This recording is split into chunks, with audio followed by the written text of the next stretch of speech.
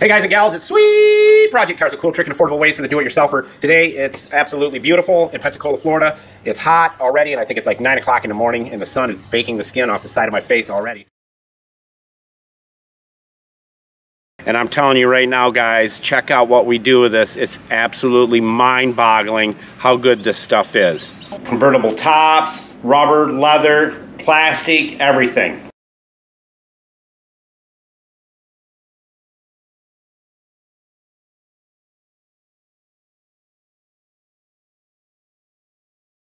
This is something that a lot of people forget about. We've had a lot of questions on it. This should be done every six months exactly this way if you want to keep your car running good.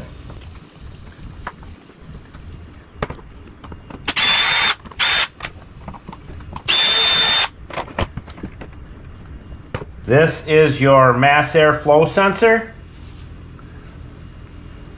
Very delicate piece of electronics. You do not want to use electrical cleaner to clean it. This is all you want to use right here. Julio, tell everybody where all the tools are located. Buscar en el show más de la descripción de video para todas las herramientas. Thank you, Julio Cesar Chavez Rodriguez Buck Snort Lopez. That's his new name, per me. When you clean this, this is all you have to do, but it should be done every six months. And what I'm going to do is clean the whole cover uh, and make sure that it's uh, looking way better than it does right now. It's pretty dirty. So follow me. And remember, a lot of times your car won't throw a code if it starts running a little bit different than it normally does. That's probably your mass air flow sensor. And when you clean it using just this, and I clean the outside of the cover now we'll get inside on this part here. You'll see the little diodes and stuff in there. Resistors. Clean that real good.